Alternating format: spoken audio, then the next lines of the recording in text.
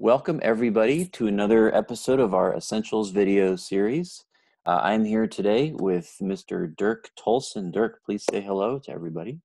Hello, everyone. And uh, yeah, okay. um, Dirk has been a friend for um, a long time. I guess it's been about a decade. Mm-hmm. And um, Dirk's uh, just a wonderful man, him and Melanie and their daughter Zoe, who you know as uh, a staff member at our church. And uh, our topic today is um, is quiet times. How to have a quiet time. This is something that we thought would be very very helpful. And Dirk is somebody who is a man of prayer. Uh, we have breakfast monthly, and um, just always are talking about what we're reading in the Bible, what we're praying for, how we can pray for each other. So I thought he would have a lot of uh, wisdom and authority to speak to this um, topic. So, Dirk, thanks for being with us. No problem. Um, we'll just start, and um, I want to first just talk about what is a quiet time. So, in a quiet time, there are a variety of things a person could have um, happen in that time. Would you describe to us just what some of the elements of what you think would make up a productive quiet time? Okay, well, I think the basics are the Bible, and prayer. Those are the things that to me are you're going to you're it's because to me a uh, a quiet time is building your relationship with God, and so that is conversing, relating to God.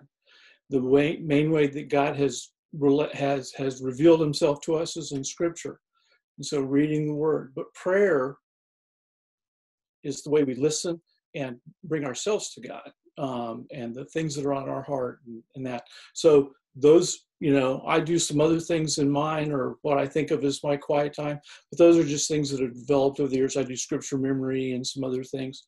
Um, meditation, which is just a, another way of looking at the word, is also a part of a quiet time, I think. Awesome. And just like the idea of a quiet time, what we're talking about following models of people in the Bible that it, it very specifically says they got a way to pray. I'm thinking of mm-hmm. David, I'm thinking of Daniel, I'm thinking of Jesus. Would you speak more to the scriptural precedent of the idea of each day and sometimes multiple times a day? I think it says David three times a day and Daniel seven times a day would get away and pray and worship. Mm-hmm. Speak more to that scriptural precedent of a disciple of, of Jesus, a, a lover of God, making a daily time to go and seek God alone. Well, it's it's funny because there, in Scripture there is no have a quiet time, and this is right. what one is. There's nothing quite like that, but we do have um, just the history. Looking at the the um, the founders of our faith, looking at Jesus himself, mm-hmm. um, people spending time, taking time to to be with God. Um, um, one of my favorite images is in the Bible is Rebecca coming back to see Isaac, and um, and Isaac is walking, meditating, and um, just that picture of him out being with God. That's how I am. What I imagine he's doing, and that's how Rebecca first sees him. Um, so, but Jesus, as you said, David.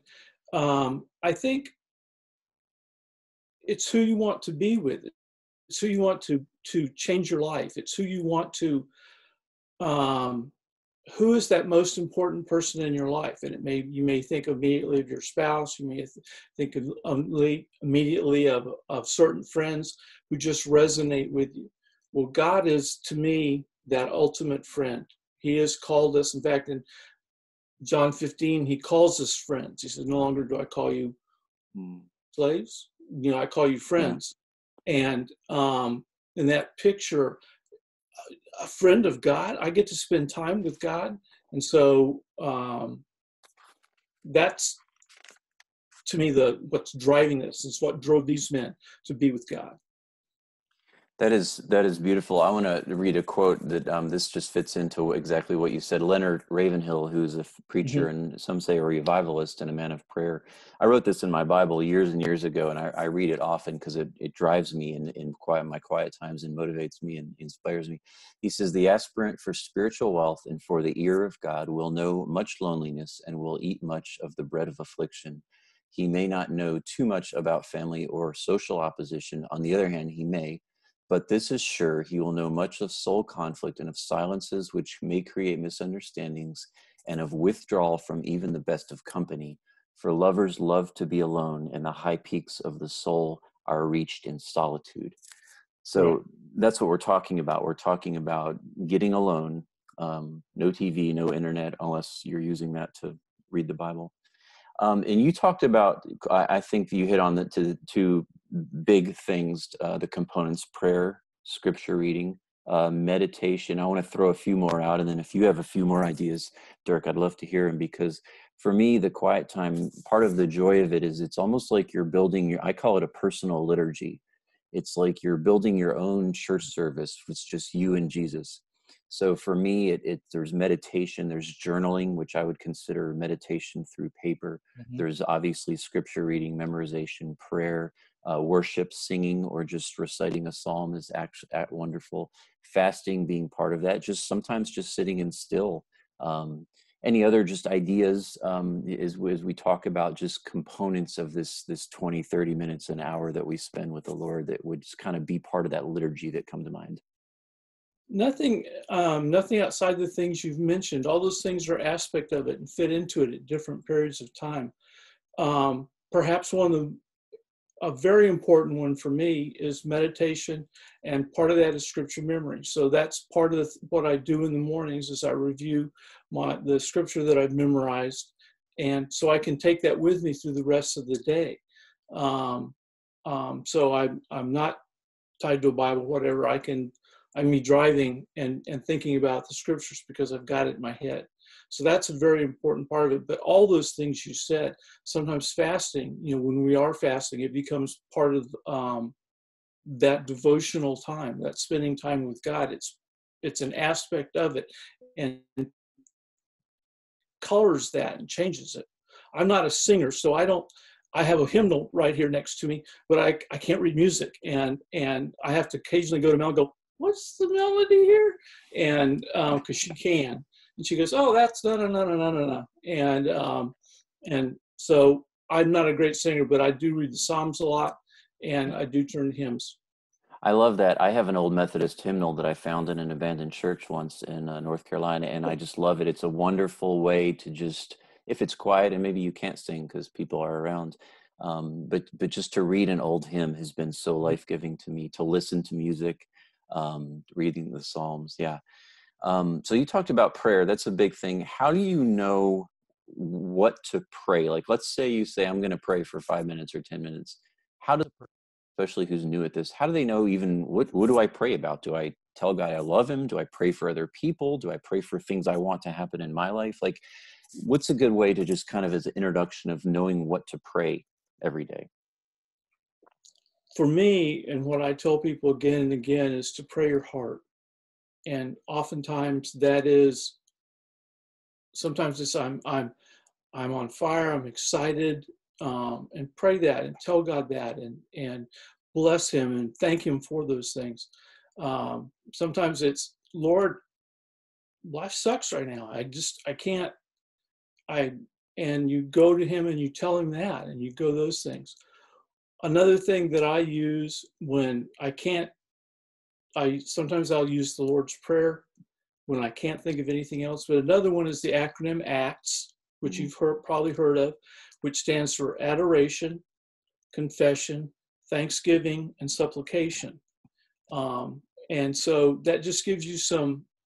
The Psalms are a great place to find um, adoration, text of adoration to read about God and to challenge your own heart. And um, uh, confession is just that coming before the Lord and going, search me, know me, you know, um, let me, let me know what things are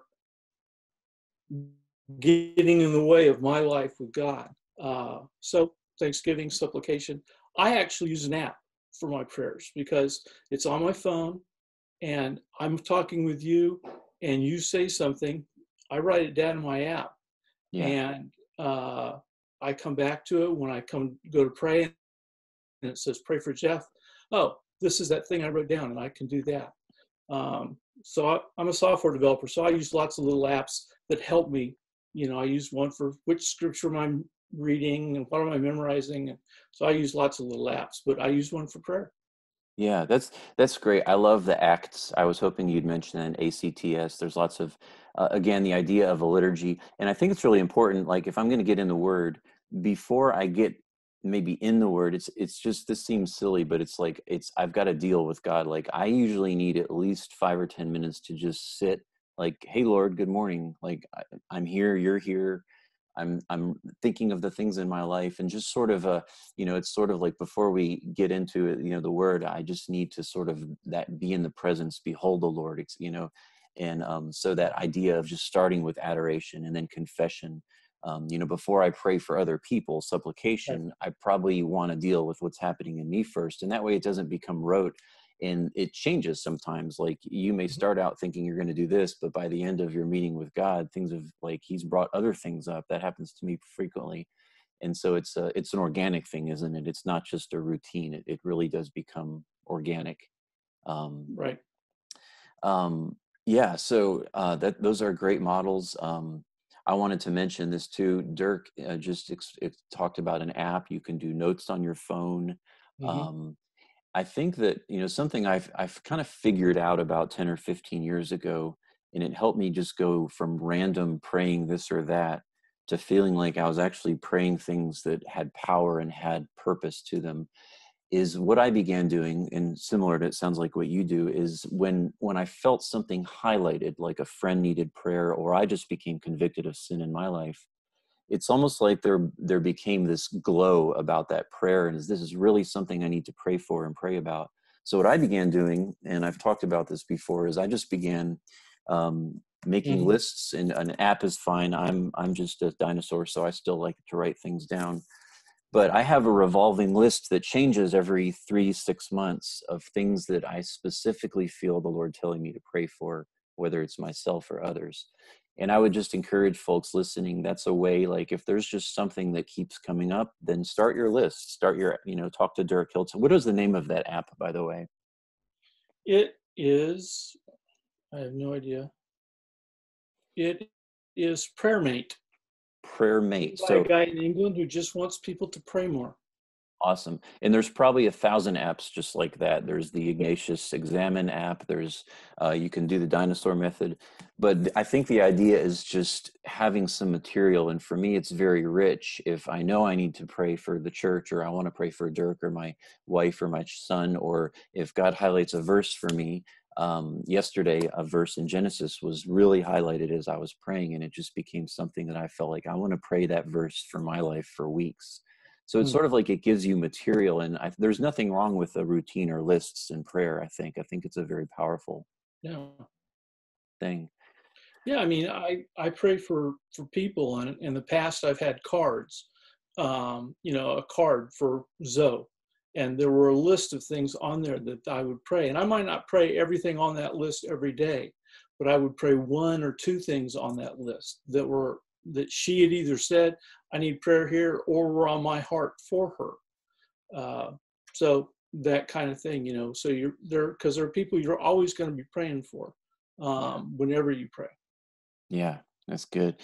Um, let's talk about the Bible. Um, reading the Word on our heart. Um, tell us, for someone who has never read the Bible consistently and wants to get into some sort of daily uh, immersion in the Bible, what what would be some good recommendations of just how do you figure out because you know doing this well, today I'll do this and tomorrow I'll do this and maybe today that I don't think that's a good plan long term. Give us some ideas of developing like a structure and a schedule to read the Bible. I think there's just uh, a, a, a multitude of reading plans out there. You don't have to go and create one unless you want, you know, unless you have some desire to. I think that structure, like you just said, is very important. I'm part of the VCC's reading group. So, you know, there's a group of people that, you know, right now we're in Genesis and um, that are always reading things. I can interact with them. But so that's one way to do it. Uh, who is it? Uh, I can't remember the name of the group now. The name, oh, Discipleship Magazine, you know, has one that you read through, it reads you through the whole Bible in a year. But um, so some of the Old Testament, some of the New Testament, has a couple days at the end of the month so you can catch up. There are a lot of plans out there, whether and you know, and perhaps it's you don't need a plan that's going to take you to the Bible. Maybe I'm going to start. If I'm starting, start with the Gospel. Start yeah. with John or yeah. with Luke, and just um, read a chapter a day. You can read the paragraph that's in, in your Bible. Might be a nice breakdown. Uh, um, and there are lots of plans. You can find something. Chuck Cochran, I know, just recently read through the Bible chronologically. Mm-hmm. You know, and and so um, reading through Acts and then the different epistles at the same time. And so there are different ways you can do it, and they're all good. The thing is, just is to be doing it, um, to pick something. And I would say the Psalms and the Proverbs are also. I know people that just use they read a Psalm every day and they read a proverb every day, and um, God, that's an incredibly rich um, bunch of stuff there. I think it's I think we need to get out of just doing that. But if you're just starting, there's a wonderful place to start. Yeah, that's so good. Those are the places I remember starting, and um, you know, it's uh, you know, Dirk, I, I'm sure you remember like the first time you read the whole Bible. It's sort of a it's a real achievement. I was just talking to some a young lady in our church who just read the whole Bible. I challenged her. I don't know, it was like eight months ago. I said, you need to read the whole Bible. That's the first thing if you've never done that and so she did she did it in like under a year and she told me like oh, wow i did it and i was shocked but there's you know if, if if you've never done that i would say that um you know read the new testament and then testament and there's just something really really wonderful about that dirk talk to us about um david says i think it's in psalm 119 um and i think it's david um, it's early so my brain's not all here yet but um, i've written your word in my heart so i might not sin against you. Mm-hmm. Um, mm-hmm. There's something about this idea of just exposing ourselves over and over and over to the Word of God as the days and the weeks and the years pile on in the decades that does something really wonderful and protects us. Would you talk about just that idea of, of long term writing the Word on your heart and how it builds our, our walk with God? Again, I think that's the main way that God has revealed himself to us. That's the way he speaks to us. That's the way he gives us guidance. That's the way he comforts us. Um, and so to be doing that each day is to, um, it's kind of to drag us out of all the stuff that's going on around us, the yeah. virus, the things at work, the family, all those things. And in this special quiet time, this special alone time to get recentered, to get refocused, and doing the Bible that way and, and doing it like you said, reading all of it. And it builds on itself and it's incredibly complex, but it's very simple in some ways as well. The way it feeds us and gives us, um, sometimes God will give us a verse that will hang around us for a day or two or like you said you know something that's on your heart i'm going to pray this for a week mm-hmm. um, the word changes our life. Yeah. And the, um, yeah, it changes our life. So to be in it every day is to be willing to change your life. It can be an uncomfortable place to be. I find God putting his finger on certain things in my life right now and going, what about this? What about that? Yeah, that's great.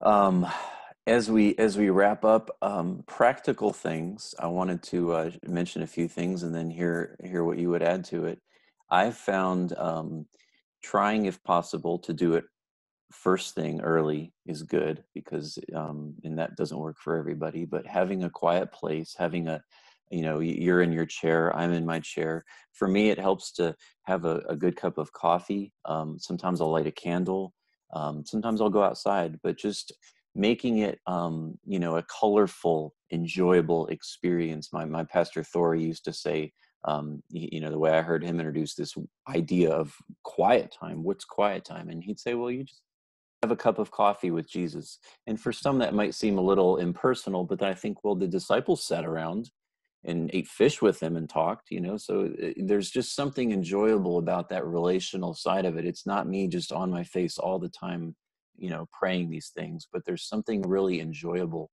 Um, so so what other kinds of just practical ideas dirk would you give us um, in terms of, of things that can make this an enjoyable and meaningful experience? I think let me just reinforce what you said. I think having a schedule and having a place. Mm-hmm. You have a schedule for your morning. I think morning morning for me is the best time as well. Some people just are not morning people and they do it at night, but most people do it in the morning. And I think having a schedule, you do have a morning schedule. You know, you get up, you breakfast, you go to work, and you have enough time in there that you've put in to do the things you need to do right. for the day you have in front of you. And adding a quiet time is to adjust that schedule. And um, I think so having first thing when I get up, you know, that's um, I'll take a shower and then I sit down with my glass of orange juice and my Bible, you know, and and I don't I try not to look at my phone. I try not to look at the computer. I try not to look at the day's news or what email I got or did I get texts or you know what's going on but it's like okay i'm going to start with god i'm going to start with jesus and and and then my day will go from there and i'll, I'll address those other things. Um, our lives tend to be very noisy and technology is one of the things where that noise comes from and i think you know it's it because i use apps i'm on my phone anyway but you know so it's it's easy to get distracted but i try try to not do those things until I've had that time. And so having and having a place, I have a, a place where I sit and it, and this just happened to work out for me. It's been different places over the years, but I think having a habit, you know, and then sometimes you do, you go, I'm going to go sit on the back porch today. Yeah. And you do that, you do those different things, but you have that place where you begin. And I think that is so important. And you know, you've talked about um, how long it takes. A quiet time doesn't have to take very long. The navigators have their seven minute quiet time, which is 30 seconds of preparation, prayer, four and a half minutes of reading the Bible, and then two and a half minutes of prayer after that. Mm-hmm. And that's a really short time, and it's it's a tough to do it for just that long. But quiet time doesn't have to be this long, expansive time. Yeah, it can be just that focus Lord, here I am. Talk to me. Amen. Awesome stuff, Dirk. Um, do you have any final thoughts? Anything we didn't cover that's on your heart? Do you want to share with folks in the church as they as they pursue this? I guess the one thing is, it's like that that resonates with me is that who do you want to spend time with? And certainly, we we all have those people that we want to be with because they're fun, they're they they listen to the music we listen to. They like the books we read this, those kinds of things. And to me god is the ultimate friend. I am mm. i he sh- should be. He can be. I'm working on that aspect of my life right now. It's one of the places where god has put his finger and said you think of me as as this benign old man kind of thing sometimes and i'm missing the vitality and the interaction that's possible in that relationship a quiet time is where those things can begin. As you mm. read the word, as you pray your heart, and that would be, you know, sure you can have a list of things like that, but sometimes you'll never get to it because you're praying your yeah. heart. You want yeah. you're it's it's what God it's what happened that last night or yesterday or just what's going to happen that day. Pray your heart mm. and mm. and read, you know, with your heart. One of the things when you read and you then you go ask the questions why when, where, what, how. Get into it. Get into it. Don't just read it. Think about it. Yeah. And that's where your meditation comes. And, yeah. And um, don't be scared of the Word of God. Ask questions of it, because you could, if you can't figure it out, mm-hmm. there's commentaries. Go to Jeff. You know, go to me. Whoever. Go to someone and ask. Um, don't be scared of the Word of God. Mm, that's good stuff. Awesome. Well, uh, Dirk is available. I'm available. We have seminary trained people such as Vanessa Vanoy. I would throw her out too that can help with questions. If you're trying to figure out what translation to get, just any of those questions, we're all here, and there's many others in the church who can help you. Um, so please, uh, those who are watching, if you, if you have further questions, and, and uh, Dirk, thank you so much. This has been really encouraging, and you are a um, you are an example of of uh, someone I look up to who's who's done this and who's a man of prayer in the word and it's obvious in your life. So you're an inspiration to us and i hope that many are encouraged um, by watching this today to, to seek the lord. He will be found. He is there waiting for us as uh, A. W. Tozer says um, god waits to be wanted. And i think that that's a that's an invitation to us to spend time with him. So thank you for your time. Thank you and uh, everyone, enjoy uh, this. Hope you enjoyed this, and we'll see you in the next episode of Essentials. Bless you in the name of Jesus.